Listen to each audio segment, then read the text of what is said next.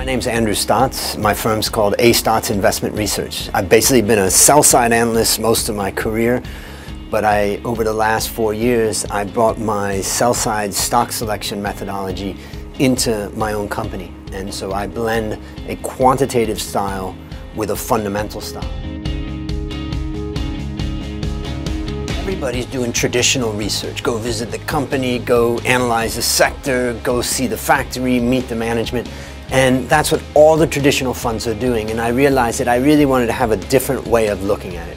So the way that I look at it is I use a quantitative methodology that I call FVMR, Fundamentals, Valuation, Momentum, and Risk. I look at every company on those measures and there's a lot of different possible measures that we could have under fundamentals like ROE, and net margin. Under momentum, it could be earnings momentum, it could be price momentum. And then it could be that that particular stock and that particular measure relative to others in that country or relative to others in that region uh, in the same sector.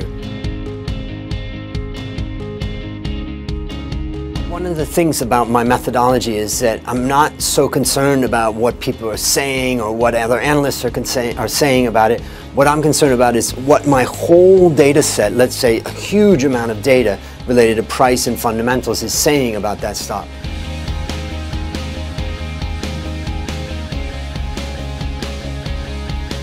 You can trust me that I'm giving independent research.